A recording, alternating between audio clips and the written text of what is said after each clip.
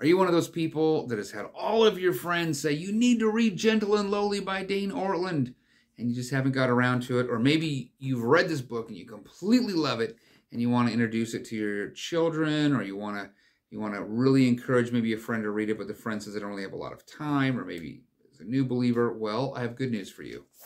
Dane Ortlund has put out a new book, a beautiful book called The Heart of Jesus How He Really Feels About You. And that's what I want to talk about in this video.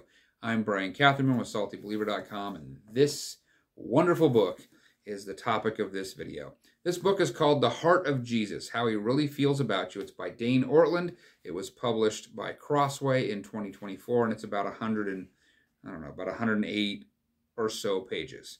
Um, and it's a beautiful, easy, wonderful little read which you can kind of work through, marinate on what's there, and kind of chew on it and think about it deeply. But to understand this little book, The Heart of Jesus, I think we need to sort of work backwards a little bit because if you go to the introduction of this book, uh, Dane Ortlund says, let me see if I can find it here. He says, um, he says, in 2020, Crossway published a fuller version of this book that you're now holding. It was called Gentle and Lowly, The Heart of Christ for Sinners and Sufferers.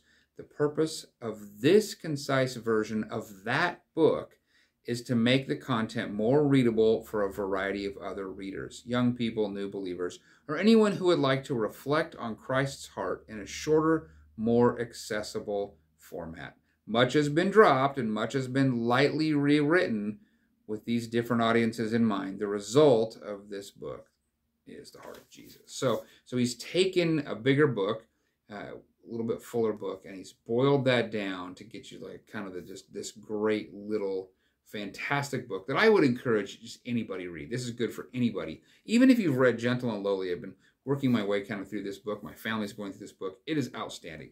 But we should probably back up a layer and talk a little bit about this book, which I've talked about this book before. I've recommended it in a variety of channels before, but this is Gentle and Lowly by Dane Ortlund. The Heart of Christ for Sinners and Sufferers. Man, this is the kind of book you just read slowly, you think about it, you marinate on it, and it just sort of it sort of blesses your soul to work through this book. But you know, I've been telling people this book is not just you know something drawn out of nowhere out of the clouds dane ortlund himself credits kind of where a lot of the heart of this comes from and i just want to take a minute and i just want to talk about that he says uh, in his introduction on let's see where we at page 14 quite a ways down. Um, basically he says he focused on one particular period of history. It was in the 1600s kind of the mid 1600s the age of the puritans. And then he writes this this book on Christ's heart would not exist if I had not stumbled upon the Puritans and especially Thomas Goodwin. It is Goodwin more than anyone who has opened my eyes to who God in Christ is most naturally and easily for fickle sinners. And, he goes on to how this introduced him to Sibbes and Bunyan's and some of the other um, Puritan writers, but Goodwin was kind of anchor for this book, and if you've read Gentle and Lowly, you know that he quotes the Puritans, especially Goodwin, quite a bit. And then he helps bring that more to sort of our context, and he helps us to meditate on, on who Christ is in the heart of Jesus. This, oh my goodness, this is such a good book. And so you just have to know if you've read this one that the, the, the best, the filet mignon cut of Gentle and Lowly ended up in the heart of Jesus. This book is just something you should get your hands on. It's new. I would highly encourage you to go out and buy it and you make it part of your devotional time or you just you read it for fun and, and, and, for your own edification or maybe you read it with your child that would be a great way to go or just work through it the chapters are short it's easy i mean they're only like one or two uh, pages each my family's going through it a chapter at a time around the dinner table i would just highly encourage you check out the heart of jesus which comes from gentle and lowly which by the way i thought it'd be fun to show you which it comes from goodwin's work and i just so happen to have two of thomas goodwin's books here uh, these are put out by the Banner of Truth or Banner of Truth Publishing, and these are the Puritan paperbacks. If you've never done a Puritan paperback, I highly encourage that you do. They are they're reasonably priced, and what Banner of Truth has done is they've gone in and kind of brought some of the language more to our modern vernacular, so we can we can read it a little bit easier. Because some of this stuff was a little bit hard to read with some of the language and verbiage. Very rarely do they change any content at all. Occasionally there'll be a footnote here and there to explain oh, that means this, you know, it's something that's kind of uh, disconnected because of time. So this is one of Thomas Goodwin's books, uh, put out by Banner of Truth.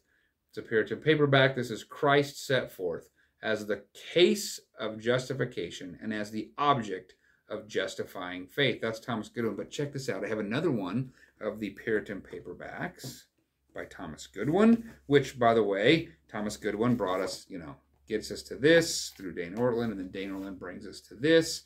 And this is one of my favorites of Thomas Goodwin called The Heart of Christ by Thomas Goodwin. Um, it's a Puritan paperback. And interestingly, Dane Ortlund went with The Heart of Jesus for this little book. So, you know, if you really want to go from this one to to Gentle and Lowly and then read the people that, that Dane Ortlund was reading, then you go and you read something like The Heart of Christ by Thomas Goodwin. If you don't have the time for that, or this is just all new to you, and I want to highly recommend that you check out The Heart of Jesus How He Really Feels About You by Dane Ortlund.